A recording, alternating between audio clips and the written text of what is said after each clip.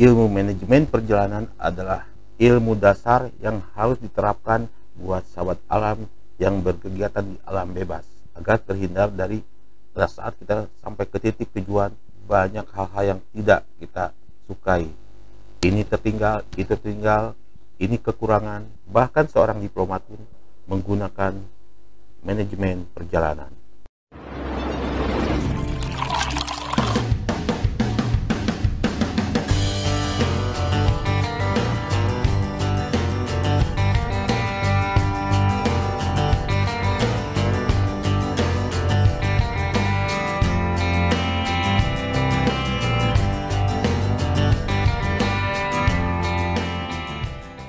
buat sahabat alam yang solo backpacker, solo hiking, bahkan yang ber, yang aktif di sebuah organisasi tentunya tahu bahwa ada materi yang namanya manajemen perjalanan. Manajemen perjalanan ini adalah materi utama, materi, materi dasar kita berkegiatan di alam bebas. Khususnya untuk para pendaki gunung, manajemen perjalanan harus dikuasai. Karena dengan manajemen perjalanan, kita akan memanage bagaimana caranya dari mulai barang-barang, dari mulai perencanaan logistik, perencanaan konsumsi, dan perencanaan jadwal kegiatan kita terlaksana dengan lancar. Dan akhirnya adalah pendakian gunung kita lancar dan selamat sampai pulang. Sahabat alam, jika sering mengalami hal-hal seperti itu, bahkan sering kita kekurangan logistik, kita kekurangan perlengkapan pada saat sampai di tujuan lokasi. Artinya kita harus mempelajari dan menerapkan yang namanya manajemen perjalanan. Saya tegaskan kembali, manajemen perjalanan adalah ilmu dasar kita berkegiatan di alam bebas. Bahkan seorang diplomat, anggota dewan dan sebagainya, bila dia melakukan perjalanan dari titik A ke titik B dengan rentang waktu 2-3 jam perjalanan, bahkan harus menginap satu atau dua tiga malam jangan sampai pada saat di lokasi tujuan. Banyak hal-hal yang kita perlukan kita gunakan ternyata tidak terbawa. Apa itu manajemen? Dan manajemen adalah penggunaan sumber daya atau sebuah sistem secara efektif untuk mencapai sasaran dan tujuan. Sebuah sistem yang kita rangkai dari hasil diskusi bagaimana caranya kita melakukan perjalanan pendakian ini lancar sampai tujuan dan pulang kembali dengan selamat.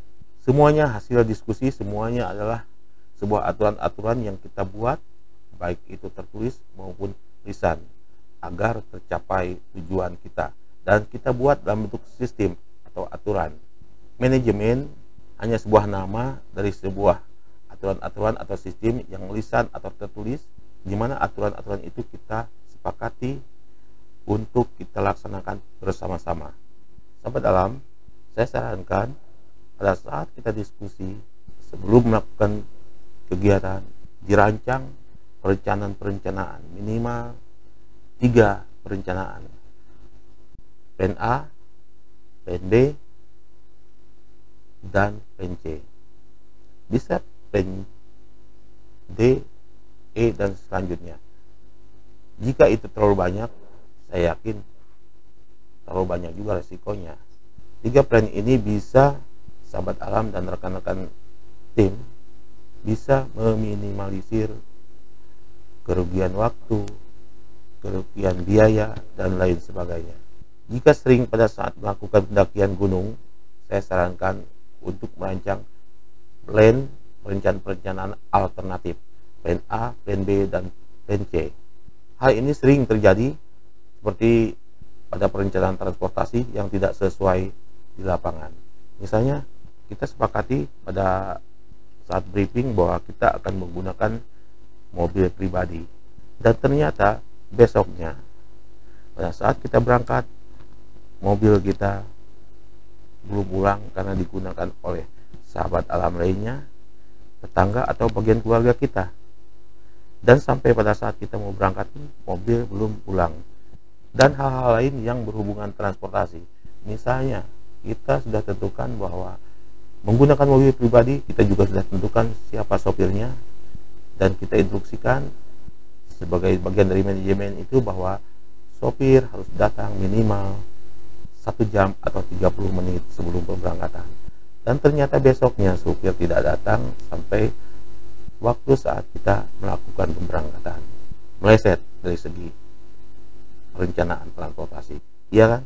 Yang kedua pengeluaran dana di luar anggaran biaya. Ini juga sering terjadi. Karena apa? Bisa terjadi dari hal yang pertama juga. Yang tadinya kita harus berangkat jam 10 dengan tujuan pendakian gunung ke Gunung Gede. Dari Jakarta ke Gunung Gede misalnya 2-3 jam harus dilalui dengan transportasi karena hal tadi seperti yang dijelaskan di poin pertama pada saat kita waktu seharusnya waktu berangkat kita pun belum berangkat. Seharusnya kita sampai di tujuan misalnya di camp Pasir Pasirur Campsite atau di Cibodas atau di pos base camp lainnya. Ternyata dua jam berikutnya pun kita belum sampai di pos itu. Nah ini akan sangat menguras dana. Maka dari itu ada plan A ada plan C supaya agar dana kita tidak terkuras oleh hal-hal yang di luar itu contohnya adalah ada dana alternatif makanya jangan buat perencanaan yang pas-pasan khususnya untuk iuran anggota misalnya. Yang ketiga, perlengkapan tidak lengkap. Dengan kita berdiskusi, maksud tujuan kegiatan kita apa, dan kita mau mau melakukan kegiatan apa, konservasi atau camping doang atau pendakian gunung doang atau hiking, tentu kita sudah merencanakan perlengkapan apa saja yang akan dibawa. Jangan sampai pada saat sampai di lokasi tujuan ada beberapa barang yang sangat penting harus kita gunakan ternyata tertinggal. Berikutnya adalah perizinan tidak lengkap. Di sinilah ada saatnya kita sebelum melakukan pendakian kita briefing bersama anggota tim. Bahkan untuk kita sebagai seorang solo backpacker pun kita harus checklist dulu dan mencari referensi mau di media sosial atau di Google perizinan seperti apa yang diterapkan di gunung yang akan kita daki.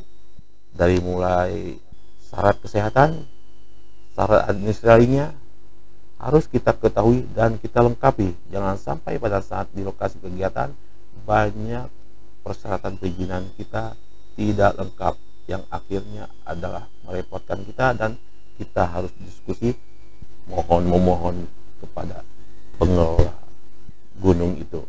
Berikutnya adalah waktu sudah pasti banyak meleset. Gara-gara poin pertama tadi banyak waktu kita meleset. Seharusnya kita sampai di base camp. Pendakian pukul 12 atau jam 1 ternyata jam 1 pun kita masih di base camp organisasi kita atau di rumah kita. Bahkan masih ada di perjalanan. Sahabat alam kita sebagai pendaki gunung bahkan solo backpacker solo hiking siapa pun sahabat alam adalah kita hanya bisa membuat perencanaan bahwa dari titik A ke B ini ditempuh dengan dua atau tiga jam. Dan kita hanya bisa merencanakan bahwa kita akan menginap satu atau dua malam. Apakah kita mengetahui dari titik A ke B ini akan terjadi sesuatu yang tidak kita duga? Oke kita sudah cek kendaraan kita maksimal apakah kita tahu bahwa di tengah perjalanan itu ada macet transportasinya? Oke kita bisa cari referensi atau komunikasi dengan sahabat kita yang ada di titik itu bagaimana transportasi di jalur yang akan kita lewati. Tapi apakah sahabat alam yakin di antara jalur yang akan kita lewati dari transportasi dari rumah kita ke base camp akan terjadi sesuatu yang sifatnya seperti ban kendaraan kita pecah atau bodi mesin kita terbentur batu di mana kita harus melewati jalur yang ekstrim yang akhirnya sampai retak dan mengeluarkan oli tentunya ini sangat fatal. Semua itu adalah kita harus menggunakan manajemen perjalanan. Ke gunung mana kita tujuan kita destinasi gunung mana tujuan kita dan jalur mana yang kita tempuh dan kita harus mencari referensi seperti apa jalur itu termasuk gunung yang akan kita daki persyaratannya di jalur pendakiannya sumber air dan sebagainya. Kita harus mencari referensi termasuk perizinan sebelum kita melakukan pendakian di pos base camp. Seperti apa perizinannya? Cara online booking atau sebagainya semuanya kita harus selesai pada saat kita briefing diskusi bersama teman-teman kita. Atau sahabat alam sebagai solo atau solo backpacker sama saja. Sebelum melakukan kegiatan cari terlebih dulu referensi yang tepat dan jelas. Bisa lewat media sosial grup-grup WA mungkin Instagram dan sebagainya. Sahabat alam manajemen perjalanan saya tekankan kembali adalah sebuah ilmu dasar yang harus digunakan untuk sahabat alam yang berkegiatan di alam bebas. Sekian materi ini.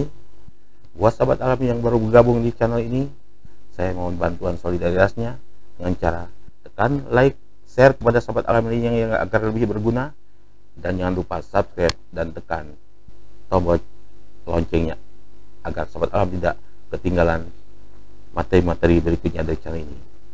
Saya Rudi Agusman bersama Gap Channel. Salam kali.